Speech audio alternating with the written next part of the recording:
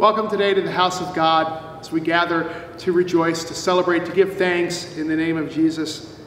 I welcome you here this day and I pray God's blessings upon your worship. I want to alert you to one announcement. It's regarding communion. And for those of you who would like to receive communion, you can make arrangements to do so through the church office. There's an announcement to that effect if you'd like to look at the announcement sheet. We make our beginning today in the name of the Father, and of the Son, and of the Holy Spirit. Amen. Our first reading is from Isaiah chapter 55, beginning in verse 10. For as the rain and the snow come down from heaven, and do not return there until they have watered the earth, making it bring forth and sprout, giving seed to the sower and bread to the eater, so shall my word be that goes out from my mouth. It shall not return to me empty, but it shall accomplish that which I purpose, and succeeded in the thing for which I sent it. For you shall go out in joy and be led back in peace. The mountains and the hills before you shall burst into song, and all the trees of the field shall clap their hands. Instead of the thorn shall come up the cypress, instead of the brier shall come up the myrtle, and it shall be to the Lord for a memorial, for an everlasting sign that shall not be cut off. This is the word of the Lord. You are my vision, O King of my heart. Nothing else satisfies only you, Lord. You are my best thought by day or by night. Waking or sleeping, your presence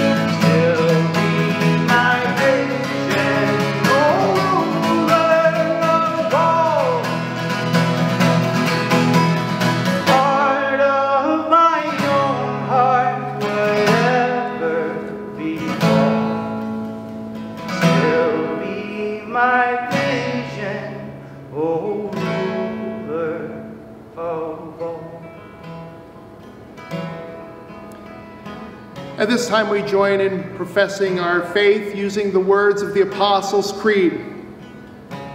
I believe in God, the Father Almighty, maker of heaven and earth, and in Jesus Christ, his only Son, our Lord, who was conceived by the Holy Spirit, born of the Virgin Mary, suffered under Pontius Pilate, was crucified, died, and was buried. He descended into hell. The third day he rose again from the dead. He ascended into heaven and sits at the right hand of God the Father Almighty. From thence he will come to judge the living and the dead. I believe in the Holy Spirit, the holy Christian church, the communion of saints, the forgiveness of sins, the resurrection of the body, and the life everlasting. Amen.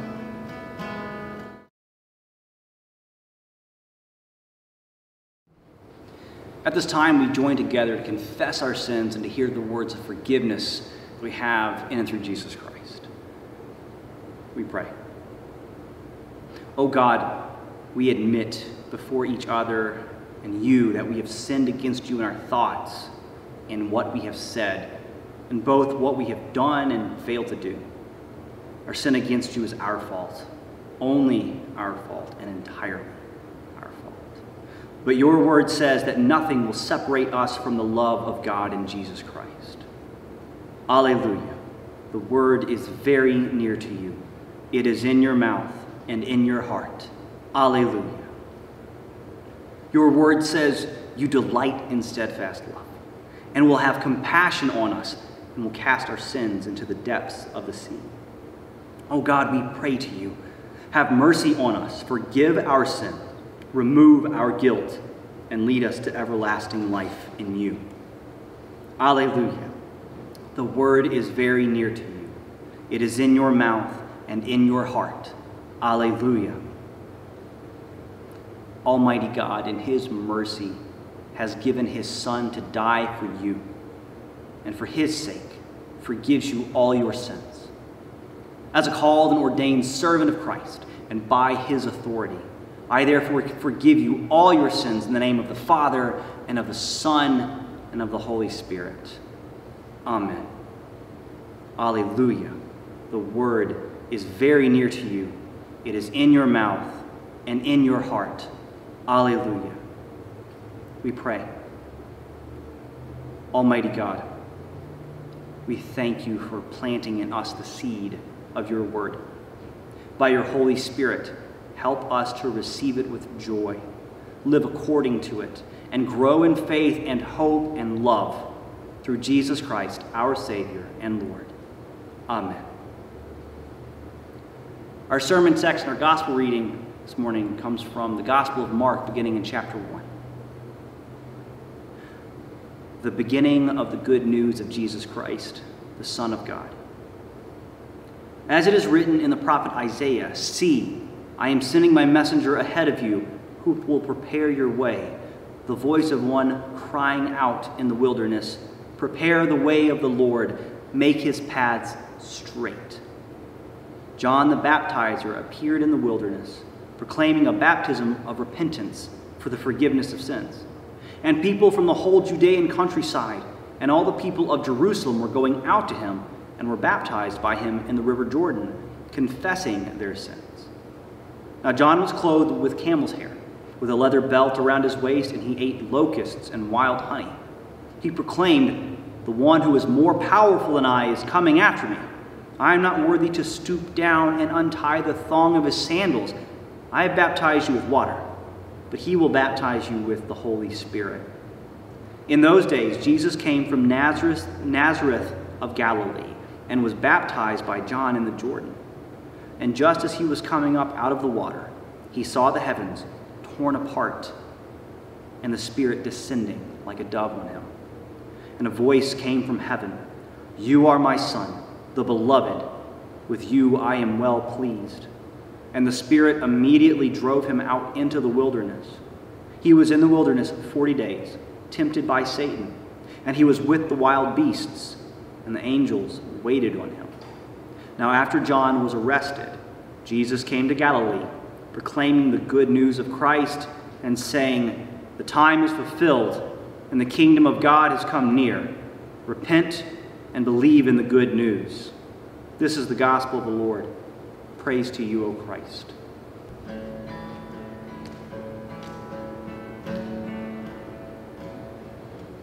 God Himself is with us.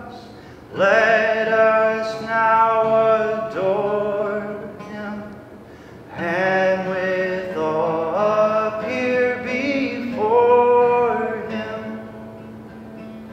God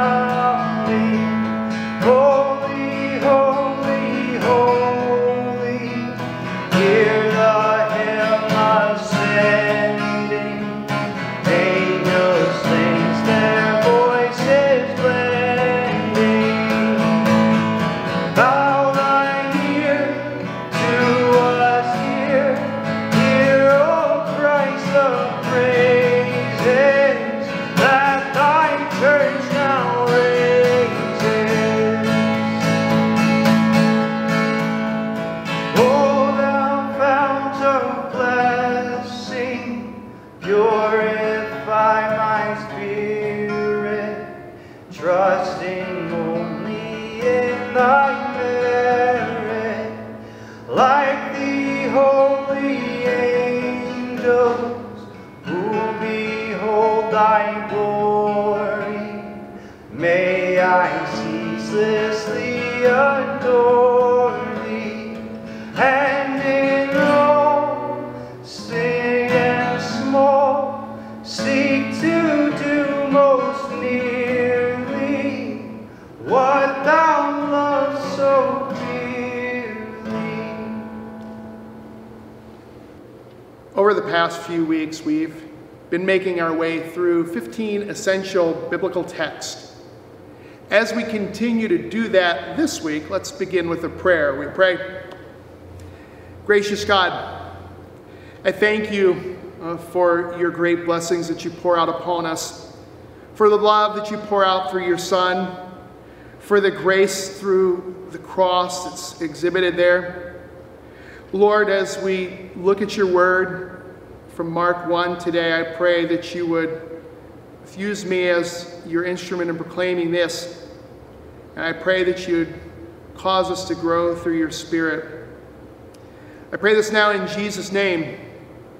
Amen. Maybe an obvious question here, but has anyone ever invited you to a dinner party? I'm guessing that the answer for you is yes.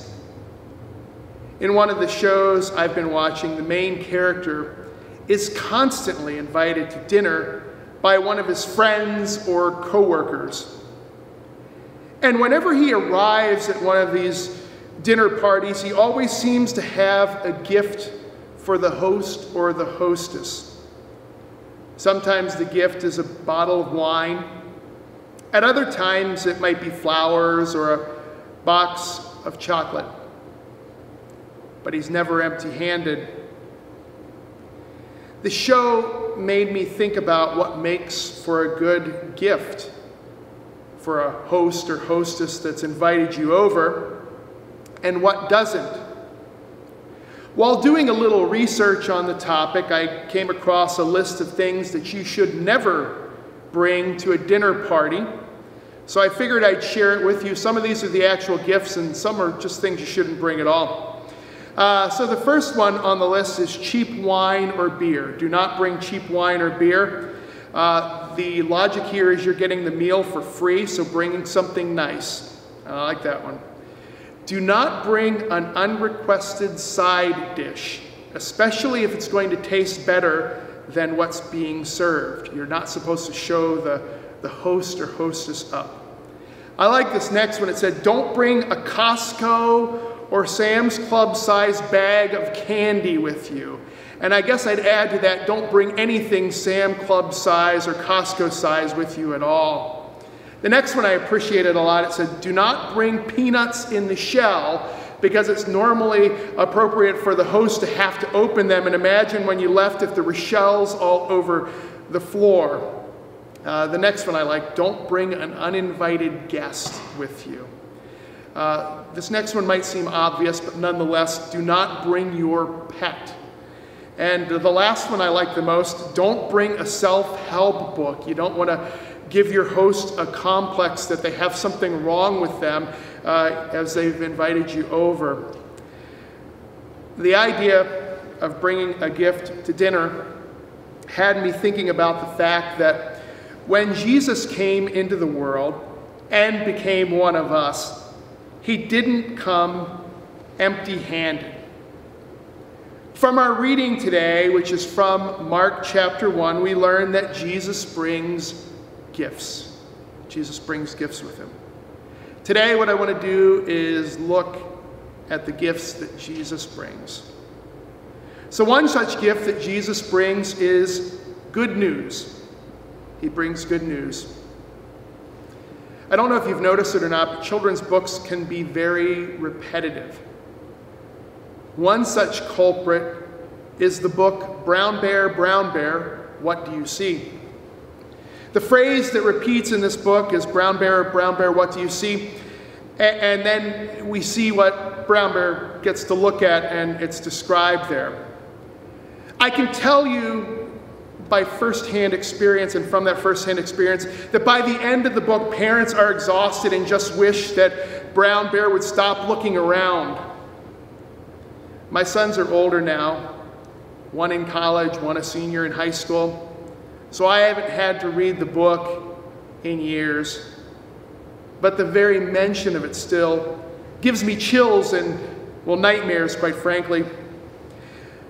I can honestly tell you that I believe I read it to them a million times. It may have been something less, it may have been something short of a million, but it felt like a million times, at least to me. I read it so many times that I have to confess that I purposely placed it under the other books in their bookcase in a foolish attempt to hide it. Of course, they would always find it, they wouldn't forget about it, they wouldn't pick something else.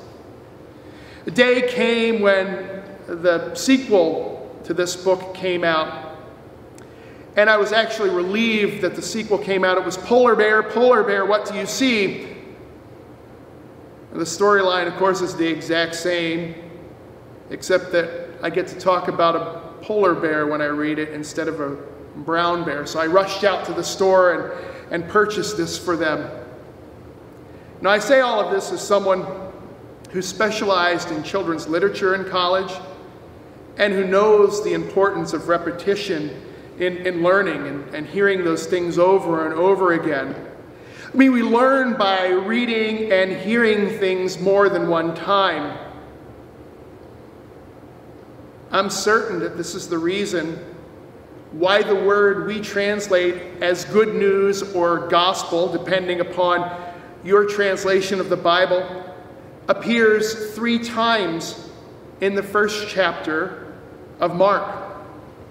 The very first verse announces that this is the beginning of the good news of Jesus Christ, or the beginning of the gospel, again, depending upon your translation. And verse 14 similarly says something like that. It says, And after John had been arrested, Jesus came into Galilee proclaiming the good news of God. Or how about verse 15, the last part?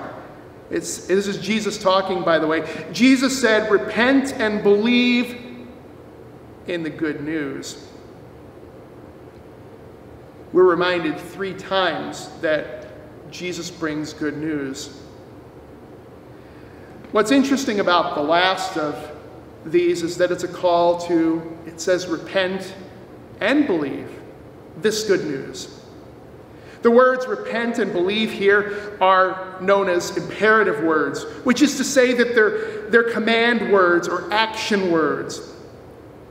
It's important to know this because we can only really truly experience the good news that Jesus brings if we repent, which is to say, recognize our need for God and believe and trust that Jesus brings the gift of good news to us and for us. So, as we think about this, we see that Jesus brings the gift of good news. But another gift that Jesus brings is God's kingdom. He brings God's kingdom. I'm a bit of a sports fan, so these past few months have been a little bit difficult and a little bit trying with no sports to be watched. The other day, while scanning around channels, I found a cornhole tournament on one of the sports channels, and I'm ashamed to say that I watched it for more than a few minutes. On another occasion, I lingered on a soapbox derby with adults who were the ones driving the cars. I, I lingered on it far too long, and I was a bit ashamed as well. But sports fans know that something really big is happening. pro basketball, Major League Soccer, Major League Baseball, they're all set to resume. Turning back again to Mark 1, we see one of the interesting things about this chapter is that it feels like something really big is happening here, too. The sense of something big can be heard in verses 4 and verse 9 as well. Verse 4 begins with the words, And it came about that John the Baptizer came into the desert. It says that it came about, those very first words. Some translations actually don't include it, but it's a really important part and, and this uh, little, little uh, phrase here, this wording here, and it came about, introduces John in this case, who's the forerunner or the one who points to Jesus. The same wording repeats again in verse 9. We already talked about repetition in chapter 1. There's a lot of it here. Verse 9 of chapter 1 says, And it came about in those days that Jesus came from Nazareth in Galilee. So it's Jesus in this case that's introduced. So Mark is describing these really amazing events that were, were happening. The sense of something amazing happening feels even greater when we look again at verse 15, the first part. Again, Jesus talking, he says, The time is fulfilled, and the kingdom of God has come near. I want you to notice the phrase, the time is fulfilled, because it's a reminder that God had a timetable and a plan at work. Of course, people had ideas and expectations about what this plan would look like. In their minds, and in ours too, if we're honest with ourselves. We think we know what the kingdom of God should look like when it comes near. But Jesus always and constantly seems to do the exact opposite of what we expect. Rather than a kingdom based on wealth or power or position, Jesus comes as a servant ready and willing to suffer for others. Jesus' actions are all about restoring and healing for humanity. And he makes us better through the cross, where we are forgiven, where we are made new, where we are called to serve the one who first served us. My prayer for you today is that Jesus, who is God's promise fulfilled, that he would bless and keep you in his grace and mercy this day and always. Let's pray. Gracious God, again we thank you for those blessings you pour out. And in particular today, we thank you for the gifts that, that Jesus brings and pours out upon us. Oh Lord, that gift of promises fulfilled and the kingdom coming near, the gift of good news that is brought to us. Lord, strengthen and keep us in these gifts now and forever. In Jesus' name, amen.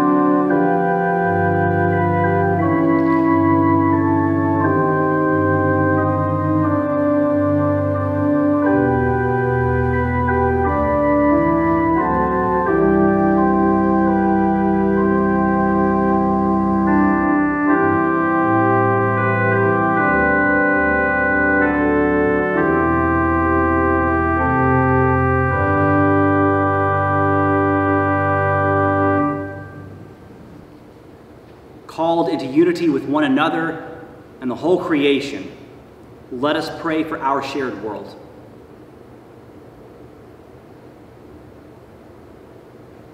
Gracious God, your word has been sown in many ways and places.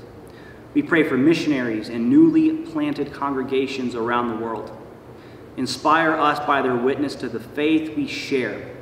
Hear us, O God. Your mercy is great. Creating God, the mountains and hills burst into song, and the trees and fields clap their hands in praise.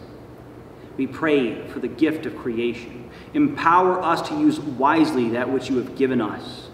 Hear us, O God. Your mercy is great.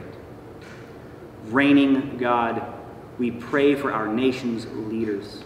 Increase their desire for justice and equality. We pray for our enemies. Bridge the chasms that divide us and guide us to a deep and lasting peace. Hear us, O God. Your mercy is great. Abiding God, care for all who are in need, especially the Kettlers Janet specifically as she continues in isolation, for all of those who are looking towards more unemployment, those that are searching for work, for Scott Garish as he mourns the passing of Amalia, for those who are doubting, renew faith, for those who are worrying, provide release, for those who are struggling, ease burdens, for those in fear, give hope. Hear us, O God. Your mercy is great. Renewing God, revive your church in this place. Nourish and nurture the seeds you have planted that we might grow as disciples. Replace what has been depleted. Sustain our ministries and deepen relationships with the wider community. Hear us, O God. Your mercy is great. Sustaining God, we lift into your care all of those congregations and church bodies that are looking towards what ministry looks like in this time. We especially lift up John Zender, who has been hospitalized with COVID 19. And we pray for quick healing. We lift up into your care Mike Duchesne, the newly installed pastor at Peace Lutheran. And for all of those pastors and church workers that are doing ministry in the midst of the pandemic. We pray that you sustain, strengthen, and open doors that they may minister faithfully and creatively. Hear us, O God. Your mercy is great.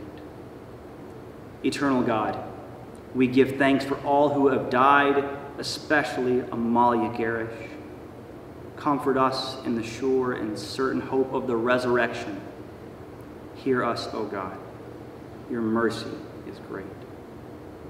Receive these prayers, O God, and those too deep for words through Jesus Christ, our Lord, who taught us to pray. Our Father, who art in heaven, hallowed be thy name. Thy kingdom come, thy will be done, on earth as it is in heaven. Give us this day our daily bread, and forgive us our trespasses, as we forgive those who trespass against us. And lead us not into temptation, but deliver us from evil. For thine is the kingdom, and the power, and the glory, forever and ever. Amen.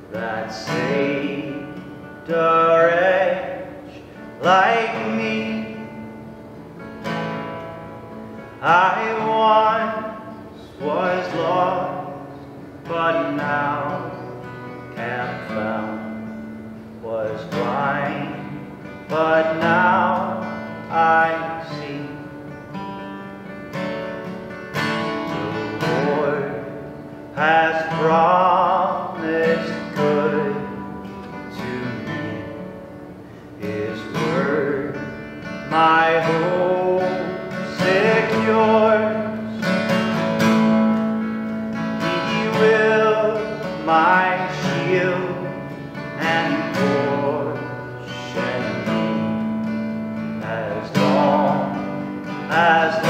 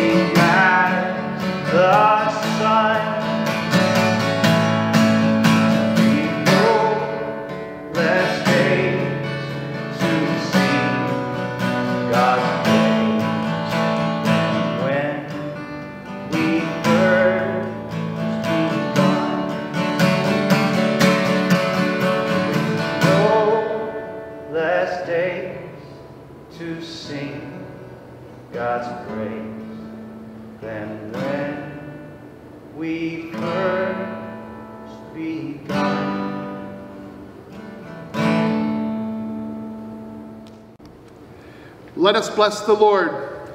Thanks be to God.